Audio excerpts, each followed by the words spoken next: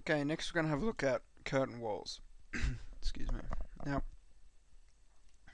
curtain walls are important because uh, they behave exactly the same as a wall, except you can use glass panels in them, and you can set up a grid as well for your mullions. So, what I'm actually going to do in this project is make this wall here, this solid brick wall, a curtain wall. Now, you can draw curtain walls either by um, just going home, clicking on wall, and then choosing curtain wall down the bottom here. Or if you've already drawn the wall we can just change the properties of this wall to a curtain wall here. Now once I do that you can see that it has actually changed it to a clear glass pane one huge glass pane window.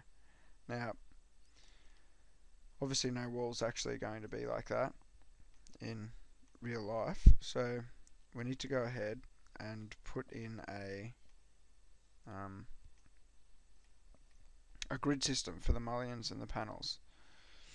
Now to do that, we can enter it in the properties of the curtain wall or up here where it says curtain grid so home curtain grid if we go to that now what you can see is that before I place anything if I just hover my mouse over the bottom line or the sidelines of this wall, you can see it's putting in a preview with a running dimension um, of a curtain grid.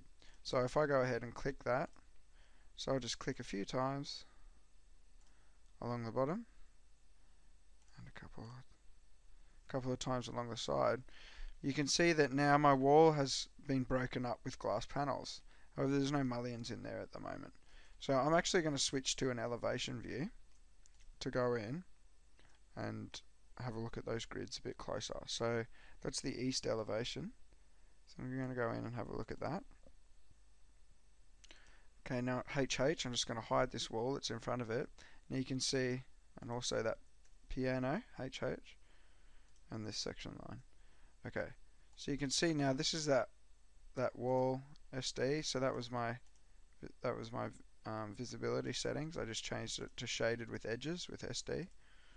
So we can see this is the wall that I was actually talking about. Now,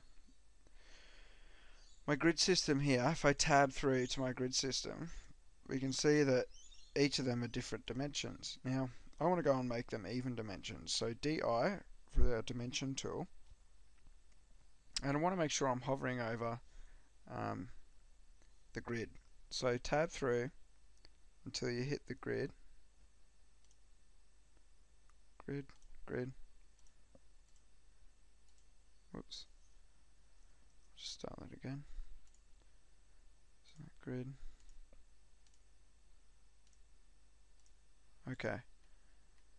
Now to drop the dimension, I just click in some clear space. And you can see here sitting above the dimension is that EQ for equal. So if I click that, there we go. Now what that's done is it's made my grids along that axis um, equal equal um, widths apart from each other. Uh, let me just, I might delete that grid. So I just clicked on that grid and deleted it. And this one, um, we'll set that at about 2400 high. So you can move the grids around by either typing in dimensions or simply clicking on them and dragging them. Okay, so let's go back to our 3D view. Now that I've set up those grids and I'm happy with them, I want to add a mullion into this curtain wall. Okay, so on the for the mullions, in our home, in our ribbon bar, home, we can see we have our mullion tool. So if we just click on that, then we get a couple of options. We can we can add the mullions to a single grid line, or to a single grid segment, or to all the grid lines. So usually the easiest way is to just go in and click it and select all your grid lines and now you can see what it's done is it's actually added mullions to all, all those grid lines for me that we just went in and set up. So that's starting to look a bit neater. Now I just want to make sure that I trim these walls together.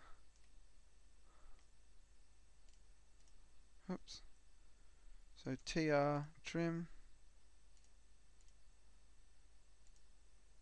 these two together to neaten up.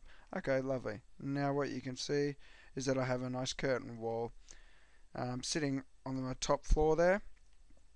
And with the curtain wall, you have the ability to change the height, um, you know, change the mullion distance, or the actual type of mullions as well. So it's a very important tool, curtain walls there, and I'm sure we'll get into it in a bit more detail in another video.